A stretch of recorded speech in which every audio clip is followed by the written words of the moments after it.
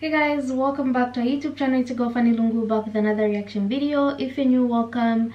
If you're not, welcome back. Thank you for 21,000 subscribers. You guys are the best. Keep subscribing, keep liking, keep commenting, keep sharing. And please keep motivating me by giving me stuff to react to. I'll be more than glad to react to whatever you suggest or we'll be more than glad to react to whatever you suggest. Um, you can find us on Facebook and Instagram as Fanny and Jessy. Just head there, say hi. We'll say hi back. We're more than glad to become friends. Check out our second YouTube channel called Fanny and Jessy 2.0. Head there, subscribe, and enjoy the content that we actually put out. We also do other things. You can check the description box below and actually check us out. So today I'm going to be reacting to Sadhguru on what's wrong with today's educational system, education system, mystics of India. So without wasting time, let's get into the video. Hmm. We are bringing up children with this fear. If you don't pass, you know what will happen to you? Continuously fear-based education. Eighteen thousand children in 2015 have committed suicide in our country.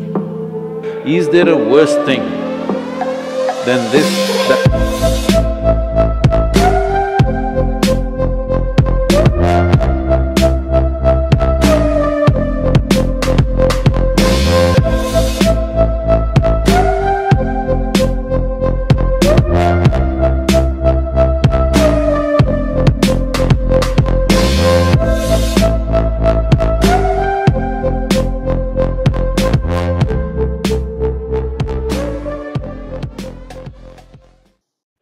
I think it's pathetic. A human being has to construct their life. A human beings have to construct their lives all the time thinking about how to earn a living. An earthworm, a grasshopper, a bird on the tree, all of them earn their living, isn't it? With such a big brain, you're supposed to do something little different than just earn a living. Earning a living should be the most basic thing.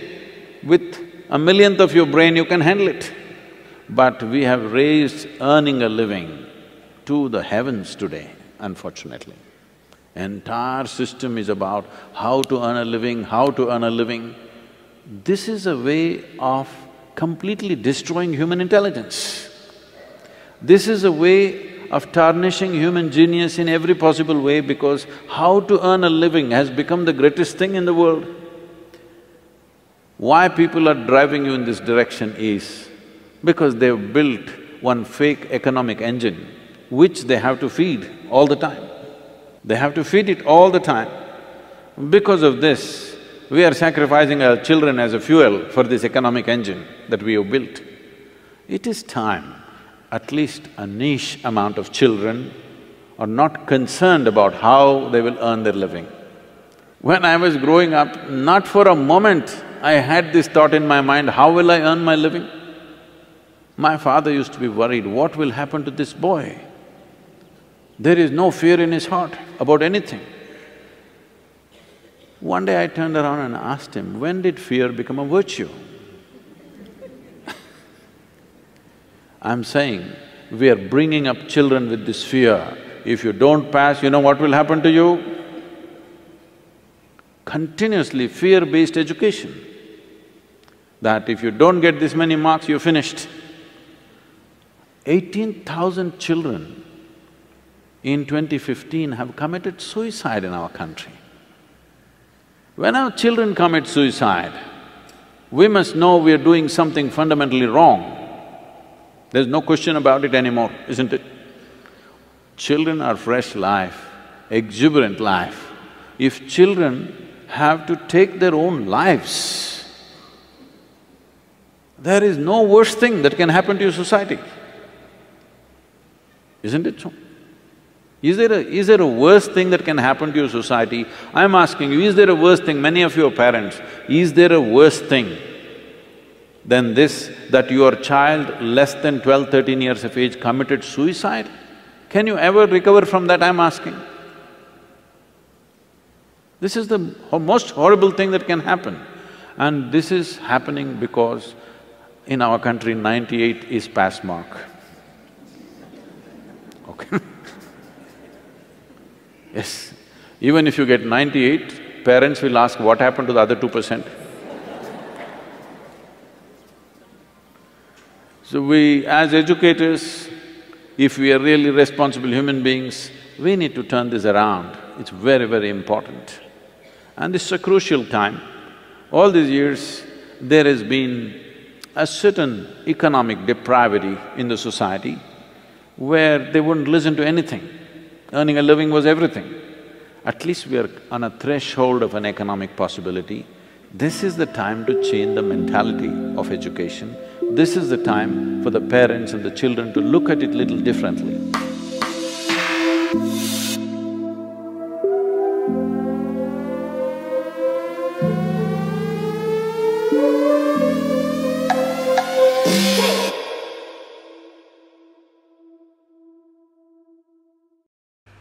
Actually listened to listening to this. I was wishing both of us were actually. I mean, both of us, that is Jessy and I, were actually reacting to this because I kind of like his thoughts about the education system and what he he would like instead. Um, it's true we have to change this thing that we've been that our parents believe in not just our parents even us sometimes believe in it. I love how the new generation is changing things. Nowadays you don't have to go to school not even just nowadays even back then you don't have to go to school to make something out of yourself career wise you can become a tiktok something you can become you can become something of yourself on youtube you can become something on I mean, it's just a different world. Times have changed. There's many different areas someone can venture into without a degree, without uh, um, high school papers, and they make it.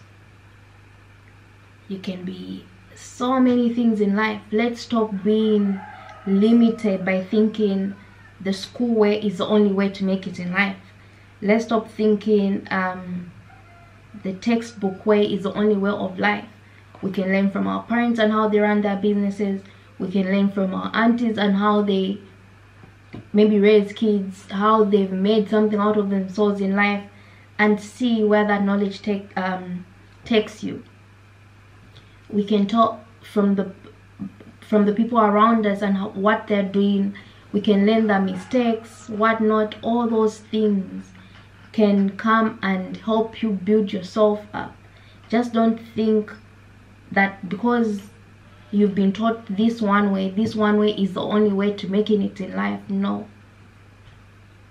Also, it's important for parents. I feel like it's important for parents raising children to be in their lives so that they control what their child learns or things about life you start teaching them at a younger age so that they may not have so that they may not be limited in their thinking or just think that um or, or they should just think the way they're taught in school. No there's more ways to think in life.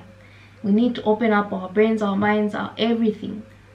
Parents should be willing to teach their children skills teach their children whatever it is it takes don't just rely on school rely on other fact outside factors as well. Imagine having a pass mark of 98 that's insane. So you're telling me below 98 then you failed? That's crazy. That's very very crazy. And imagine shouting at your child because they got 98 that that will injure someone's pride. That will take away something from that child. Even you you as a parent even if you don't recognize that we need to learn to uplift children. We need to learn to reward children for the good that they do for the knowledge that they're learning and see where they're taking it you know. Not just being ignorant because i'm a parent i can say whatever i want i can control what my child learns despite not knowing what they themselves want to do. Also it's also good to focus on what your child is good at. Don't just choose for them focus on what your child is good at and let them explore that interest. And yeah that's what i have to say. What do you guys have to say about this? Really enjoyed this Sadhguru video. Uh, if there's anything you want me to react to let me know by dropping the name or the link down below. I'll be more than glad to react to it. Make sure to give this video a thumbs up share it with your friends and of course do not forget to subscribe and i'll see you in my next reaction video